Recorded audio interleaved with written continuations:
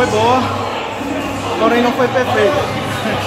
Eu deveria ter, em algum momento eu me perdi na luta, deveria ter dado o meu melhor. Mas graças a Deus, a vitória veio, o resultado veio, o oponente também muito bom, né? E ele também deu tudo de si. Na realidade eu agradeço mais a ele, porque sem oponente a gente, a gente não consegue chegar onde a gente quer. Francisco, o que a gente pode esperar de você para os próximos eventos? Em um determinado momento eu vou melhorar, me doar mais. Tem mais algum agradecimento? Oi? Mais algum agradecimento?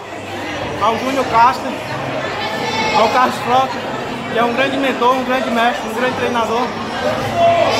E a todos vocês. Ok, muito obrigado, parabéns.